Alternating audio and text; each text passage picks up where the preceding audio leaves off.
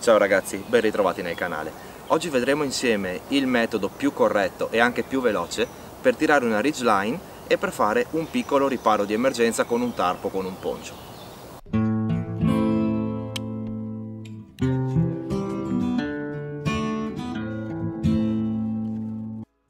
Secondo me è davvero importante essere in grado di fare velocemente un piccolo riparo dalla pioggia, dai temporali, che sia ovviamente veloce da fare, ma che sia anche abbastanza resistente. Quindi vedremo insieme quello che secondo me è il metodo migliore per allestire questo tipo di piccolo riparo che ti può aiutare e che io ho usato tante volte in tante situazioni diverse per temporali improvvisi o anche quando ero nel bosco con i figli per una pioggia improvvisa è veramente molto comodo. Per farlo ovviamente non servono chissà che materiali, semplicemente quello che normalmente in un'uscita sia sia più lunga sia anche più breve o con la famiglia avrete sicuramente dietro, ovvero un poncio o un telo di emergenza, una coperta termica di quelle di emergenza, va bene un po' tutto in questo caso qua, e un po' di cordame.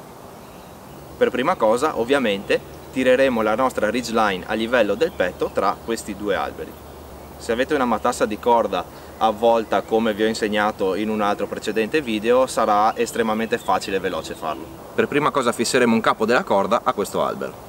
Per farlo avvolgeremo semplicemente il capo con la gassa d'amante della nostra corda intorno all'albero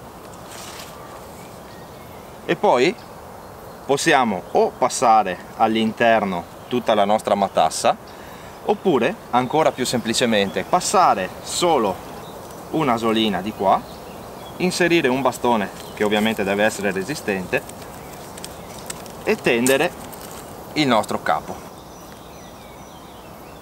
questo sistema con il bastoncino ha un grosso vantaggio, che una volta che io voglio svolgere il tutto, basterà estrarre il bastone e tutto quanto si disferà. Dall'altro lato, sempre alla stessa altezza, faremo un nodo che sia in grado di tirare in modo robusto la nostra corda.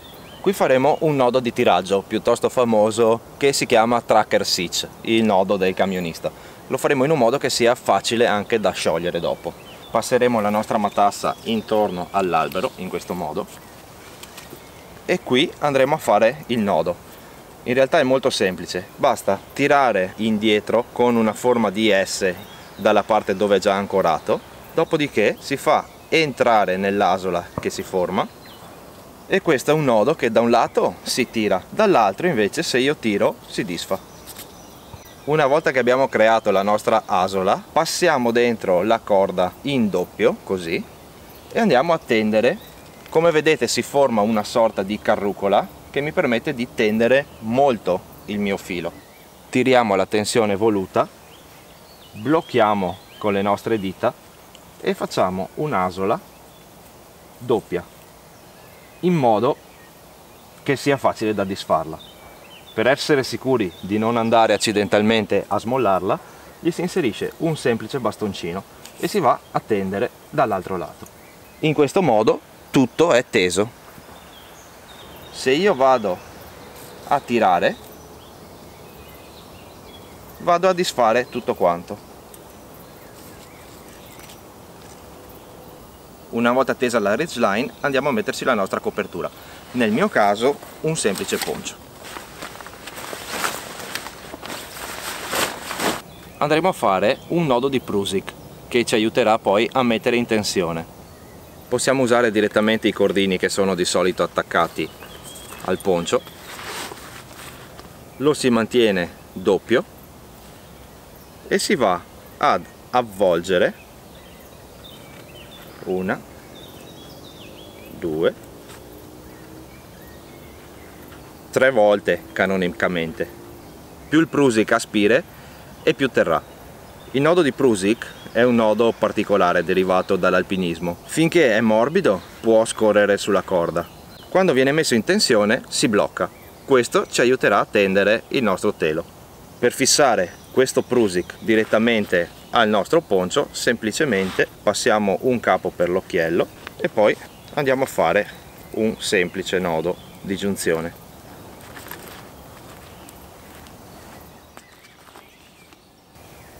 facciamo un altro prusik dall'altro lato allo stesso identico modo.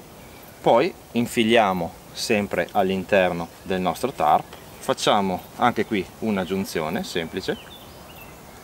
Ed ecco che potremo in modo semplice andare a spostare i due nodi e quindi la posizione del tarp e dopo a tenderlo semplicemente tirando i due nodi. E il tarp è teso. Per andare a completare la struttura adesso è sufficiente andare a picchettare gli altri due lati. Si possono usare dei bastoni dei picchetti fatti direttamente in bosco oppure per velocizzare si possono usare dei classici picchetti in acciaio io consiglio sempre di portarne un paio che non si sa mai che terreno si trova, cosa si trova, pesano poco, sono resistenti e ti possono aiutare in tante situazioni, tipo questa. Ed ecco qui in un minuto realizzata la nostra struttura, che sarà resistente, ben tesa e potrà resistere al vento, alla pioggia. Ovviamente si può fare girando il tarp da una parte o dall'altra e alzando e abbassando la ridgeline di qualsiasi forma serve. Il bello di questa struttura è che con poco, tirando via i picchetti, tirando via i paletti, tirando le corde, in pochi secondi ti riviene tutta l'attrezzatura in mano e ti sei liberato. Ragazzi per oggi è tutto, spero che questo video vi sia piaciuto, lasciatemi qualche commento sotto, fatemi sapere cosa ne pensate, ciao, alla prossima!